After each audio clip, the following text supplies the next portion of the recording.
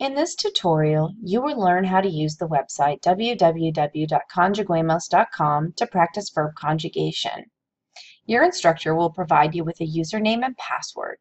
Click on Student Sign In to enter that username and password. Then click Go.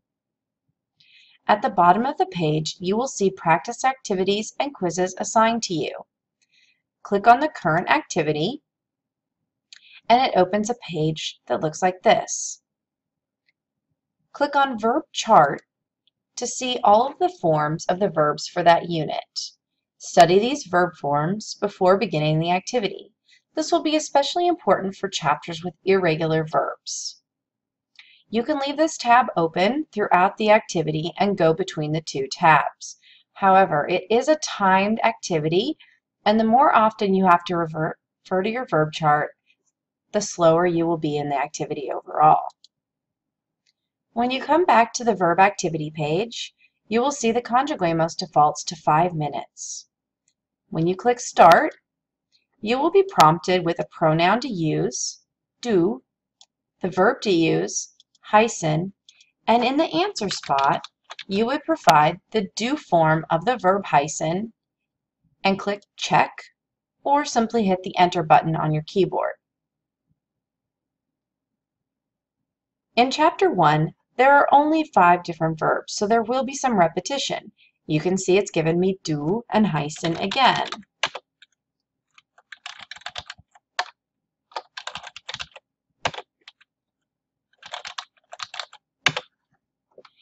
Continue through the activity until you have earned 25 points.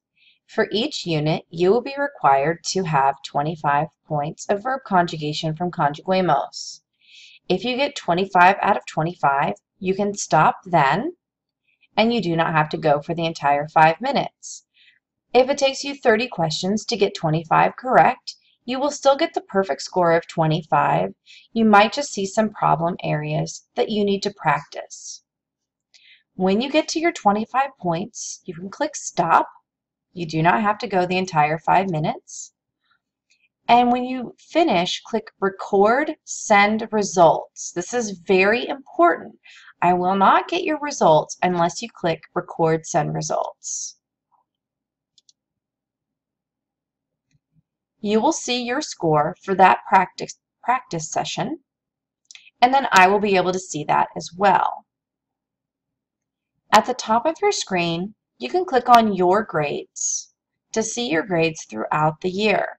This will be a great way for you to see that you have covered all of the units assigned and that you have received 25 out of 25. If at any time you have questions about how to use the Conjuguemos website, please email your instructor.